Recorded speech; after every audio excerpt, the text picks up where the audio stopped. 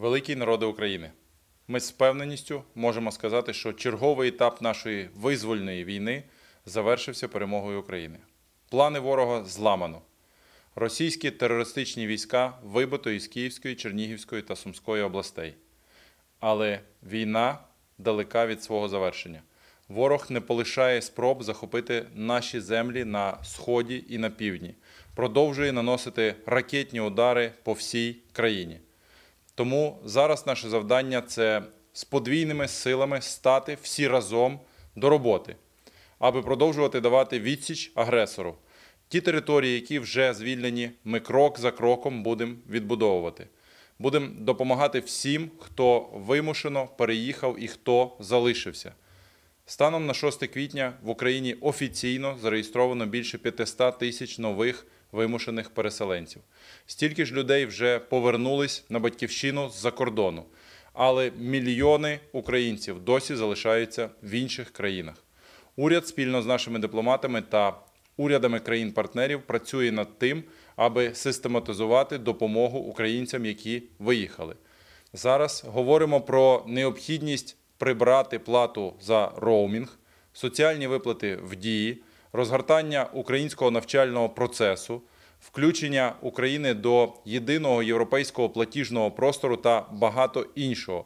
Вітаємо рішення країн ЄС про запровадження механізму тимчасового захисту, адже наша мета повернення усіх українців додому. Окремий напрямок роботи це співпраця з міжнародними організаціями в Україні. Ми вже анонсували спільно з ЮНІСЕФ програму щодо підтримки багатодітних родин. Хочу підкреслити, що вона буде стосуватись не тільки вимушених переселенців, а всіх родин в Україні. Кожному члену такої родини буде здійснюватись виплата в розмірі 2,2 тисячі гривень щомісяця.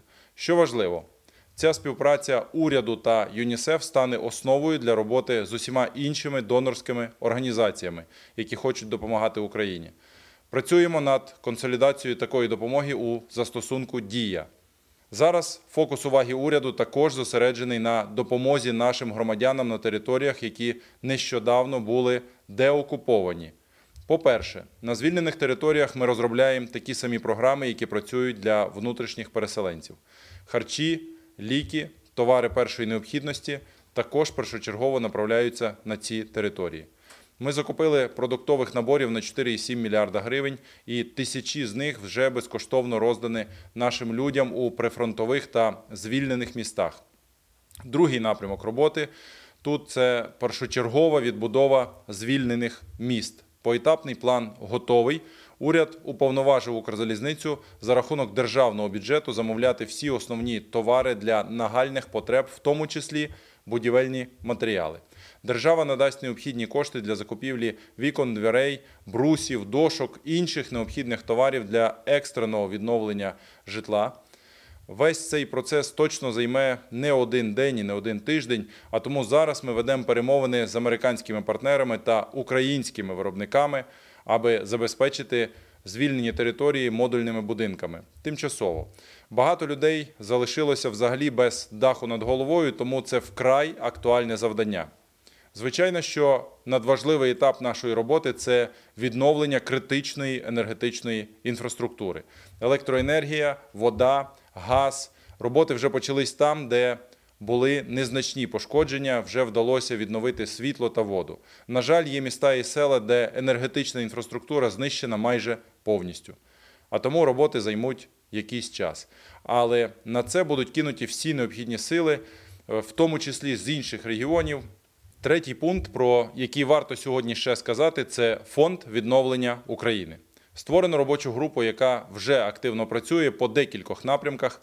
По-перше, це арешт російських активів на заході та передача цих коштів Україні. Єдиної процедури, як це можна зробити в світі, просто не існує, а тому з кожною країною ми працюємо окремо. Але частину цих коштів ми хочемо отримати вже в найближчі півроку, аби почати швидко відновлювати нашу країну. Вдячні нашим партнерам, які активно продовжують заморожувати рахунки та активи Росії та наближених до Кремля олігархічних груп.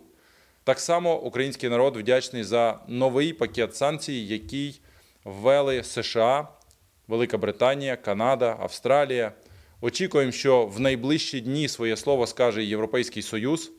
Прийняті та запропоновані санкції сильні, але недостатні. Україна розраховує, що світ запровадить потужне нафтове ембарго. Вчора під час наради обговорили з президентом України Володимиром Зеленським питання запровадження Україною ембарго на торгівлю товарами з РФ. Україна повністю зупинила імпортні та експортні операції з державою-агресором від початку війни. Найближчим часом закріпимо це урядовим рішенням, аби усім була зрозуміла незворотність розірвання наших відносин з державою-агресором. Тримаємо стрій, віримо в Збройні Сили, працюємо заради нашої перемоги. Слава українцям і слава Україні!